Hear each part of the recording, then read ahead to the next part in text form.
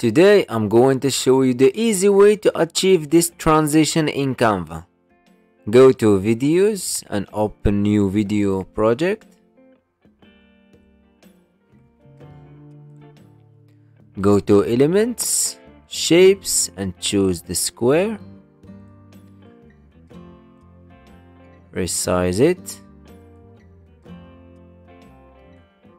And change the color to any color you want. And we are going to use this image.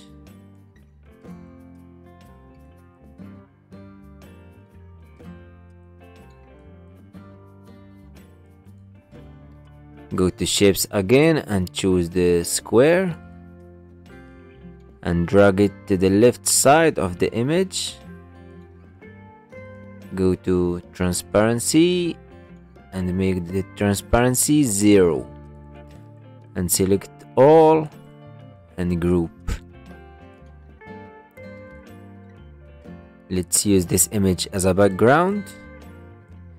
We we already made this image. We just put uh, text on it. Set image as a background. And resize this design.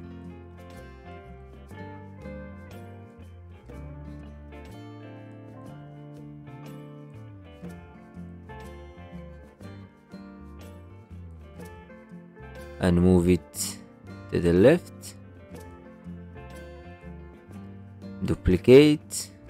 Go to the second page. And move it to the right.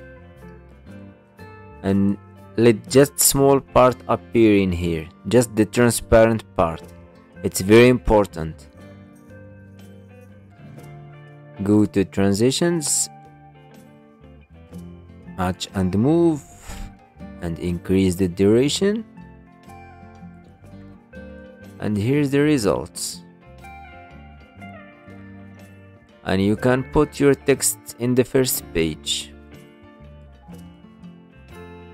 I hope you like this tutorial. Subscribe to the channel to learn more about Canva.